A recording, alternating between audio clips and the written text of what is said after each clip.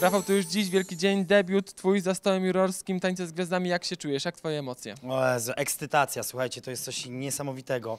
E, może ten stres e, nie jest takim stresem, e, e, jak każdemu może się wydawać, że to jest po prostu e, takie spinające, wręcz przeciwnie, jest takie e, bardzo el elektryzujące. A jak to jest oceniać swoich kolegów? Bo kiedyś byłeś z, nim w, z nimi w równym szeregu, a teraz jesteś jurorem. Myślisz, że będzie to problematyczne? Jak ty to widzisz? z- Wychodzimy z założenia, że ten program jest o gwiazdach, czyli osobach, które przychodzą tutaj ze świata, nie wiem, aktorstwa lub y, sportu i oceniamy gwiazdy, nie tancerzy.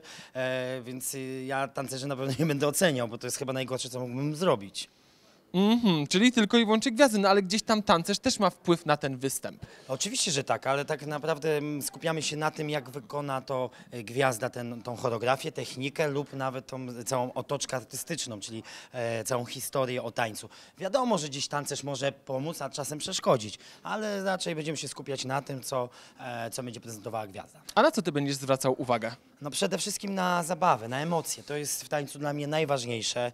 E, technika e, jest bardzo ciężka, żeby się nauczyć ją w przeciągu trzech miesięcy, e, więc e, tutaj większą rolę na pewno odgrywają emocje i na tym będę się skupiał i chcę, będę za każdym razem powtarzał, że e, mistrzem tańca nie zostaje tancerz techniczny, tylko ten tancerz, który ma coś więcej, czyli e, coś takiego, co e, wyróżnia się, więc e, tego będę szukał. Nie masz dużo czasu, więc od razu przejdźmy do ostatniego tematu. Burdy w internecie.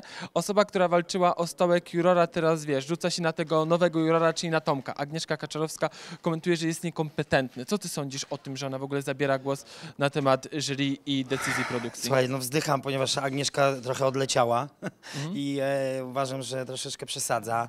Mm, wydaje mi się, że to jest jej jakaś taka z- zazdrość i miała możliwość być na castingu e, na jurora, no niestety się nie, nie udało jej i teraz po prostu wy, swoje żale wylewa w internecie. A jak myślisz, co było problemem, że jej się nie udało? Tego to ja nie wiem, to już trzeba się zapytać produkcji.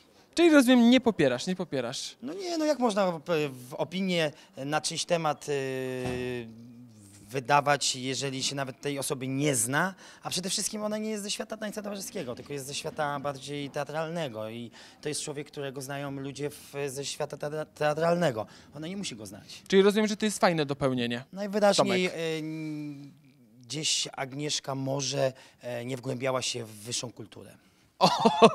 Dziękujemy bardzo, trzymajcie się, cześć.